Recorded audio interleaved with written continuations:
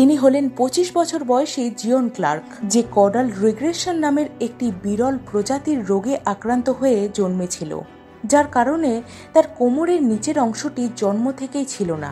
তবুও Zion Guinness book of world রেকর্ডে the fastest man on two হ্যান্ডসের খেতাব জিতেছিলেন শুধুমাত্র দু হাতে সবচেয়ে দ্রুততম দৌড়ে।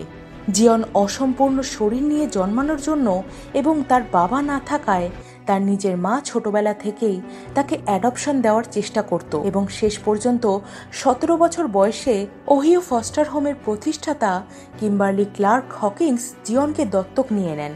জিয়নের শারীরিক অসম্পূর্ণতার জন্য তার ছোটবেলাটা খুব একটা ভালো না কাটলেও অ্যাডপ্টেড হওয়ার পর থেকে তার জীবন বদলে যায়। জিয়ন ছোট থেকে রেসলিং মিউজিক এবং বিভিন্ন স্পোর্টসে আগ্রহী ছিল। স্কুলে থাকাকালীন সময়ে বিভিন্ন রেসলিং কম্পিটিশনে সে অংশগ্রহণ করলেও সেখানে বারবার সে হেরে যেত।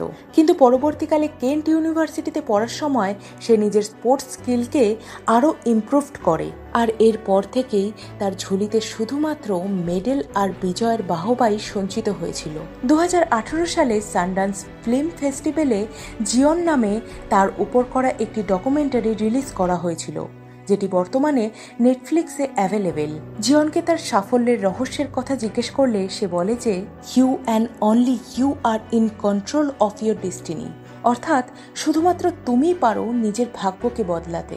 মানুষের যত প্রতিবন্ধকতাই থাকুক না কেন, সে যদি চায়, তবে অবাস্তব মনে হওয়া স্বপ্নকেও হাতের মুঠোয় নিয়ে আসতে পারে। এর জন্য শুধু চাই হার্ডওয়ার্কিং আর প্যাশন